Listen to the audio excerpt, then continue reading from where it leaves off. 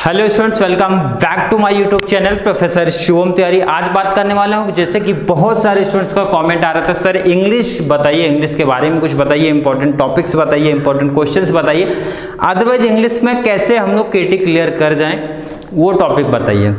तो देखिए इंग्लिश की अगर हम लोग बात करते हैं इंग्लिश में केटी क्लियर करने का बहुत ही ईजी ट्रिक है, बहुत ही आसान सा ट्रिक है कि आप चार से पाँच दिन, आपके लिए मैं बोलता पाँच दिन इनफ हो गया। मैक्सिमम बता रहा हूँ। वीडियो लाने में थोड़ा सा डिले हो गया था, उसका रीज़न मैं बता चुका हूँ। मेरा एग्ज़ाम था, इसकी वजह से वीडियो थोड़ी सी डिले आई है। बट आपको सिंपल सा क्या करना है इंग्लिश पे थोड़ा सा ज़्यादा मेहनत आप कर दो। ये जो भी रिमेनिंग टाइम आपका बचा है, उस पर आप इंग्लिश पे हंड्रेड आप करो। जितना मैं बोल रहा हूँ, उतना ही आपको करना है। तो सिंपल सा देखो इंग्लिश का पेपर पैटर्न आपको पता ही होगा। सेक्शन वन जो हमारा आता है, वो आपका पैसेज वाला पार्ट आता है। कितने मार्क्स का वेटेज ध्यान से देखो थर्टी फोर मार्क्स का वेटेज है। कितने का वेटेज है? थर्टी फोर मार्क्स का वेटेज है। अब यहाँ पे आपको करना क्या है? ध्यान से देखना है आपको क्वेश्चन नंबर एक, कितने मार्क्स है? बारह नंबर इसको आपको कुछ टच मत करना, छोड़ देना है। जो आपको बोर्ड का आंसर शीट मिलेगा, इतना याद रखना है। बोर्ड के आंसर शीट में पेज थोड़ा सा खाली रख देना। ऐसा नहीं जो क्वेश्चन मैं पहले बोला, उसको पहले लिख दो। क्योंकि बहुत सारे बच्चों ने मिस्टेक्स किया था। बहुत सारे बच्चों ने क्या कर दिया था? डायरेक्टली राइटिंग स्किल मतलब सेक्शन थर्ड पे पहुँच गए थे। तो वो चीज़ नहीं करना, इससे थोड़ा सा टीचर्स के ऊपर टीचर जो भी चेक करते हैं तो थोड़ा सा स्टूडेंट्स के लिए बेकार रहता है। स्टूडेंट्स के लिए बेकार रहता है, इसका मतलब वो ये समझ लेते हैं कि आपको सेक्शन वन टू की कुछ मतलब नॉलेज ही नहीं है।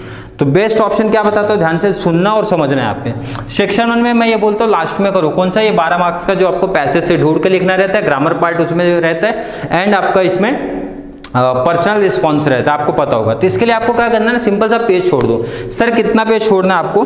तो सिंपल सा अगर मैं बता दूँ, जो भी आपका बोर्ड का आंसर शीट है, पूरा एक पेज एक पेज मतलब एक, इस तरफ़, दोनों तरफ़ साइड का। एक पेज पूरा कंप्लीट छोड़ो। सेकेंड ग्रामर के लिए भी छोड़ दो। कितना पेज सर एक पेज कंप्लीट मतलब मैं बोलूँ सीधा सीधा दो पेज आप छोड़ दो। दो पेज छोड़ देना है। सीधा टू पे आना है। टू के लिए भी ये क्वेश्चन नंबर बारह वाला चीज़ छोड़ो आप वहाँ पे। कितना पेज सर पूरा एक पेज छोड़ो। ध्यान से रखना है। दो पेज यहाँ पे, एक पेज यहाँ पे। तीन पेज कंप्लीट छोड़ दो एक्स्ट्रा छूट जाता है तो कोई दिक्कत नहीं। तीन पेज कंप्लीट छोड़ना आपको। सबसे पहले, अगर देखो पास होना तो सबसे पहले क्या करना है? यहाँ पे ध्यान रखना ये छह नंबर पे फोकस रखने का है। ये छह नंबर अगर जिसका छूटा तो प्रॉब्लम क्रिएट होना चालू। जो जो चीज़ बता रहा हूँ, अगर उसमें से जो बच्चों का प्रॉब्लम हो गया, छूट गया, नहीं कर पाए तो प्रॉब्लम क्रिएट हो जाएगा। अदरवाइज़ मैं बोलता हूँ, जितना चीज़ मैं बोल रहा हूँ, उतना ही करके जाओ, बहुत इनफ हो गया आपके लिए। ये अभी करो मत, तीन मार्क्स और तीन मार्क्स पे जाओ। सर यहाँ पे तीन मार्क्स ये क्या है? तीन मार्क्स आपको समरी पे मिलेगा। सर समरी लिखने नहीं आता। है अब यहाँ पे बहुत सारे बच्चे हमारे आएँगे जो समरी बोलेंगे, सर, समरी लिखने ही नहीं आता है। अरे, समरी में करना क्या देखो इधर, हमारे यहाँ भी जो ऑफलाइन बैचेस हमारी चलती हैं, उसमें भी ऐसे बच्चे हैं जिनको प्रॉपर तरीके से इंग्लिश रीडिंग करने ही नहीं आता है ठीक है? तो उनको हम लोग क्या करते हैं? सिंपल सा पास तो कराना है, कैसे भी इंग्लिश में पास तो कराने का, और इस साल की जो बैच थी इंग्लिश में ऑलमोस्ट सब बच्चे हमारे यहाँ से पास हो गए थे।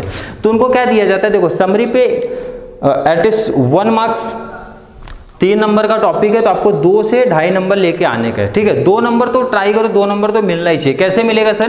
पहले तो आपको टाइटल लिख देना। टाइटल सर, कैसे ढूंढेंगे? तो वन से सेकेंड अदरवाइज़ सिंपल सा ट्रिक है, देखो इधर। तो जिस टॉपिक के बारे में बोला कि आप रीड करो, देखो, वो वर्ड ना बार बार बार बार मिलता रहेगा, ठीक है? अदरवाइज़ नहीं तो दूसरा ट्रिक है स्टार्टिंग के दो लाइन में आपको मैंने क्या बताया स्टार्टिंग के दो लाइन में आपको जो टाइटल है, वो मिल जाएगा। 98 परसेंट बोल रहा हूँ। स्टार्टिंग के दो लाइन में। अदरवाइज़ वो वर्ड जो रहेगा ना बार बार रिपीट होता रहेगा, वो आप टाइटल कर दो। क्लियर टाइटल आपने कर दिया वो टॉपिक को। उसके बाद जैसे सेंटेंस जिस बच्चों को मैं बोलता बनाने नहीं आता। टाइटल का हिंट दिया है। सॉरी जो भी सेंटेंस लिखना, उसका हिंट दिया। आप क्या करो? सेम लिख दोगे तो भी चलेगा। लेकिन जो बच्चों को थोड़ा बहुत चेंजेस करने आता है, वो चेंज कर दोगे तो ज़्यादा बेस्ट रहेगा। मैंने क्या बताया? खाली नहीं छोड़ना। जो बच्चों को कोई भी चेंज करने नहीं आता है, आपको सिंपल से देखो, वहाँ पे हिंट दिए रहते एक वर्ड लिखा रहेगा, फिर खाली, फिर एक वर्ड है। तो आपको वर्ड क्या करना है? मिला लेना, उसमें से पैसे से मिला लेना सेम टू सेम लिख दो। वो बच्चे जिनको इंग्लिश में ज़्यादा कुछ नॉलेज नहीं है बट जिनको नॉलेज है, उनको थोड़ा बहुत चेंजेस करना पड़ेगा। बट इतना भी लिख दिया तो मैंने क्या बताया? तीन में से दो नंबर सबको मिल जाएगा, सबकी बात हो रही है। नेक्स्ट ये तीन के बाद ये तीन आएगा, जिसमें तीन में से तीन सबको मिलेगा माइंड मैपिंग पे मिलता है। तीन में से तीन मार्क्स सबको मिलेगा माइंड मैपिंग पे। माइंड मैपिंग का एग्ज़ाम्पल आप लोग मेरे को व्हाट्सअप करेंगे तो मैं बहुत सारा माइंड मैपिंग का क्वेश्चन विथ आंसर के साथ आपको ऐड कर दूँगा मतलब सेंड कर दूँगा। अदरवाइज़ आपके पास कोई भी पीडीएफ या फिर पब्लिकेशन की बुक रहेगी तो आप खुद से प्रैक्टिस कर लेना। ये तीन में से तीन नंबर फिक्स मिलता है, अच्छे से प्रैक्टिस करके आना माइंड मैपिंग तो मतलब यहाँ तक 34 में हम लोग ने टारगेट पहले सिक्स मार्क्स का किया कि छह में से कैसे भी तीन प्लस दो, पाँच नंबर लेना ही लेना है। अच्छे से प्रैक्टिस कर लेना है। ये दो के बाद सर सेक्शन टू पे आ जाओ। सेक्शन टू पे क्या करना देखो इधर, जो आपको पोएट्री वाला पार्ट है, उसको फोकस ना रखो एप्रिसिएशन पे रखो। सर एप्रिसिएशन इतने सारे कैसे याद करेंगे? तो देखो, जो कुछ कॉमन सेंटेंसेस होते हैं। आप मुझे पर्सनल मैसेज करोगे, मैं कॉमन चीज़, देखो, उसको एक ही ऑप्शन है कि आपको अब रटना है। और एप्रिसिएशन वर्ड है एप्रिसिएशन है तो आपको क्या कर देना लिख देना एक चीज़ आपको थोड़ा सा करना पड़ेगा, क्या करना पड़ेगा? कि जो भी, जितने भी आपकी पोएट्री है ना, उसके राइटर के नाम याद रखने पड़ेंगे। ये चीज़ तो कंपलसरी याद करना ही है, इसके लिए कोई ऑप्शन नहीं है। वो चीज़ याद करने का एंड बाकी जो कॉमन सेंटेंसेस है, वो मैं आपको लिख के दे दूँगा। उतना आपको लिख देना है। दो नंबर यहाँ, चार में से दो नंबर आपको वहाँ पे मिल जाएगा। मैंने क्या बताया, चार में से दो नंबर कंपलसरी मिल जाएगा, यहाँ पे। किस पे? एप्रिसिएशन पे। क्लियर इसके लिए पेज छोड़ देना। कितना सर एक पेज कंपलसरी छोड़ देना। क्लियर एप्रिसिएशन कर लेना। जो जो चीज़ बोल रहा हूँ, वो पहले करना है और वही बच्चे केटी इजिली क्लियर कर जाएँगे। सेक्शन थर्ड मोस्ट इंपॉर्टेंट है। ये जो बच्चों का छूटा था, जो बच्चों ने नहीं किया था, उन्हीं को केटी भी लगी है। प्रॉपर तरीके से नहीं किया था, उनको केटी लगी तो आपको करना क्या देखो यहाँ पे। एक ही बात करो, क्या करना है देखो वहाँ पे। इस पे करना आपको स्टेटमेंट ऑफ़ पर्पज मेरा सजेशन है, बाकी जो बच्चों को जो इजी लगता है, वो लिख दो। स्टेटमेंट ऑफ़ पर्पज क्यों दी है सर तो यहाँ पे देखो, हमारे यहाँ पे कैसे बहुत सारे जो प्रॉब्लम था, हिंदी मीडियम उर्दू मीडियम के बच्चों को क्या प्रॉपर उतना सेंटेंस बनाने नहीं आता प्रॉपर अपना ओन वर्डिंग लिखने नहीं आता। तो वो लोग को ऐसा चाहिए था, सर, हमको ऐसा कुछ दो कि जो कॉमन सेंटेंसेस रहे, हम लोग क्या करें, कोई भी स्टेटमेंट ऑफ़ पर्पज है तो वहाँ पे लिख दें। तो इसलिए मैंने उनको बोला स्टेटमेंट ऑफ़ पर्पज लिख दो, ऊपर के सेंटेंसेस है, नीचे को कुछ सेंटेंसेस कॉमन से रहते हैं। बीच वाला आपको ऐड करने आता है, कर लेना, नहीं आता तो भी लिख देना तो उसका नंबर तो एटलीस्ट मिलेगा जो आपने ऊपर के कुछ लाइन ऐड किया, नीचे को कुछ लाइन ऐड किया। थोड़ा बहुत सेंटेंस आता है ऐड करने, में बोलता थोड़ा बहुत गलत सही जैसे भी ऐड करने आता है, आप ऐड कर लो। प्रॉपर तरीके से आता है तो कॉमन सी बात है, भाई, वो तो बच्चे कोई भी कर सकते हैं group discussion otherwise virtual message कर सकते हैं। बट जो बच्चों का परफेक्ट तरीके से नहीं है, वो स्टेटमेंट ऑफ़ पर्पस की ऊपर की जो लाइनें हैं, नीचे की जो लाइनें वो क्या करेंगे, याद कर लेंगे।